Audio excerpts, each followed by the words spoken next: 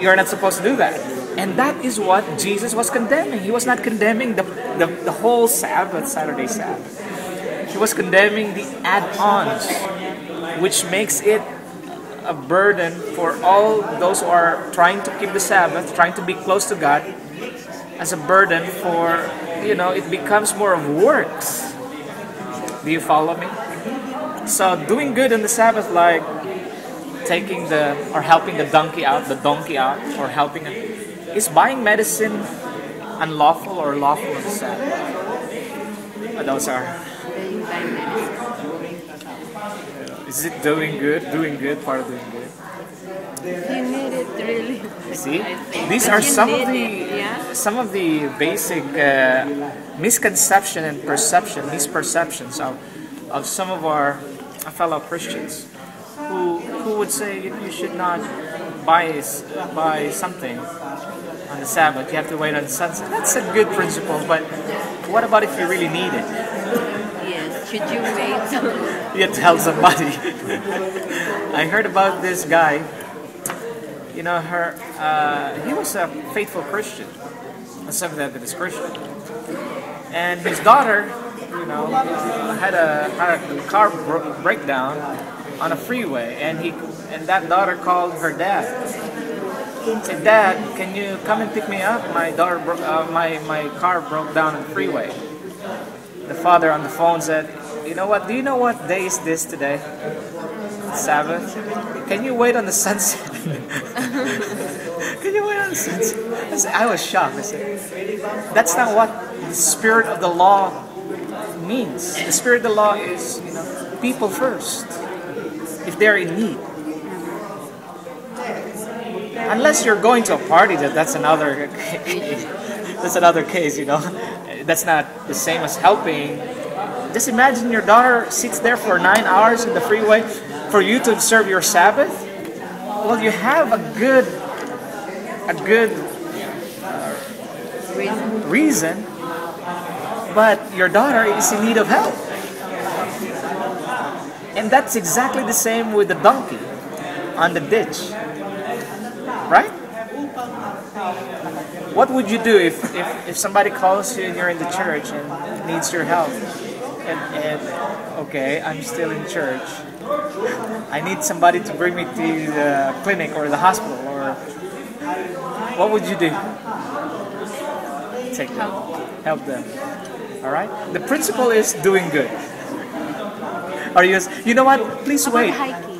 Hiking on Saturday. Like you're. That's another Yeah. great area where where the principle doing good is it Because there's fellowship. There's Because fellowship. we do we do it once in a while, I believe. Like you know when we are. I could go for a nature walk. Yeah. It's not inten- if it's it's meant for us to study nature and for fellowship, I would go for a walk. Go for a long walks.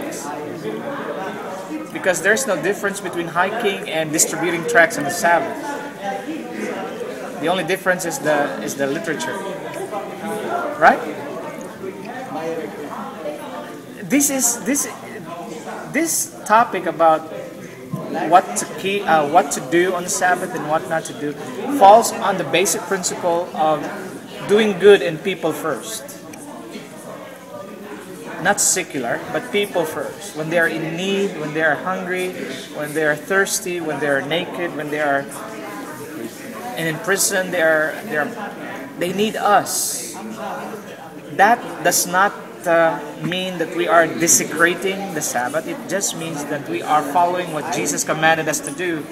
People first, help them, do good on the Saturday Sabbath. Acts of mercy, we call it. And those are lawful. It's not illegal, it's lawful. Because the spirit of the law of the Sabbath tells us that is your love for God, and your love for God is also equivalent to your love for men. Right? Do you have any comments or question about that? What about watching? Um, watching TV on the Sabbath? Well, you could also. I'm watching Hope Channel. It's fine. But before this, you know, watching secular TV was a no-no for us. Which is, of course, I would say it's always a no-no because you always had that on the other days. on the seventh day sanctified, blessed. God rested and God ended His work. So, you know. So the basic principle again, as I've said, is doing good and people first. Okay. All right. How about for the kids? Ha, what? The kids, for The kids. example, swimming. Swimming for the kids. Sabbath afternoon. That's another question. What do you think? What do you think? Uh, this this is another cultural and uh, um, It's pleasure. preference. It's pleasure, yeah. It's pleasure before God. Well, if you swim during this divine service, then that's another question.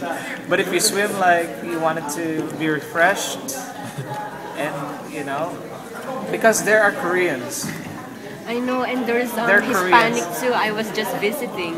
they, they would go and swim. And That's, yeah. Koreans, they, they would play soccer on Saturday afternoon. Oh, really? That's part of their. That's how they were trained. That's how they were conditioned culturally. Like exercising or And something. Filipinos like to sleep. S- Siesta. True. I mean, like two hours sleep. Right, right. It's a long sleep. It's not 30 minute nap. that's why they call it siesta hour because it's like hours. It's from the Spanish culture as well. I love that. I love siesta. You like sleepy? No, I love power nap. It helps your brain. It, it, it powers up your brain. There are so many research that powers up your brain when you when you have a nap. That's why. A nap is 15 to 30, Yeah. right? But sleeping is a different story. like a long sleep.